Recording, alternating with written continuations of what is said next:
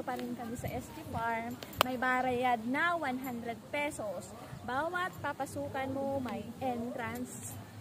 Dun sa may swing, 50 pesos yun. Kaya hindi na kami pumasok, mahaba yung pila. So dito naman, ay 100 pesos yung entrance. So ayan, so since nandito na kami, nag-entrance kami siya.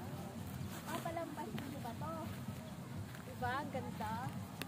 So, tayong dalawa lang. Mag-propose ka sa akin dito. No na. Will you marry Oh, me yung again? Mag-propose ka sa akin.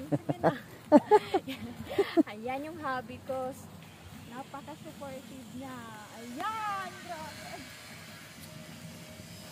So, ay, grabe, malamig pero kakayanin ko. Siyempre, kaya ko yan. Napakapakapal ng fogs, guys. So, ayan. Solong-solo namin.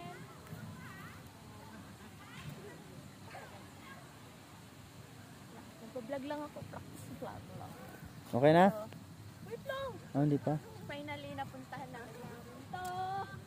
So, kahapon lang nasa Olongapo kami. Ngayon, nandito na sa SG Farm. 2P South Cotabato.